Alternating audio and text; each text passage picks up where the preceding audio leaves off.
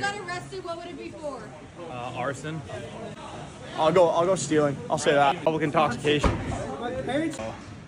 Probably like stealing something stupid. Yeah, stealing or public intoxication, probably.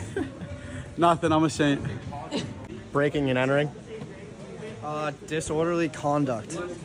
Murder. Disorderly conduct. I don't, I don't. Money laundering through the hockey uh, bank account. Apparently stealing a traffic cone. Uh, stealing from the Pier gas station. Vandalism. Uh, robbing the wall of beer. Uh, being part of the KGB and getting sent to, back to the old country. Larceny. Uh, probably finding the six bodies buried in my backyard. That's freaky. Uh, tax fraud. Video of the uh, other team's coaches in the crawl space.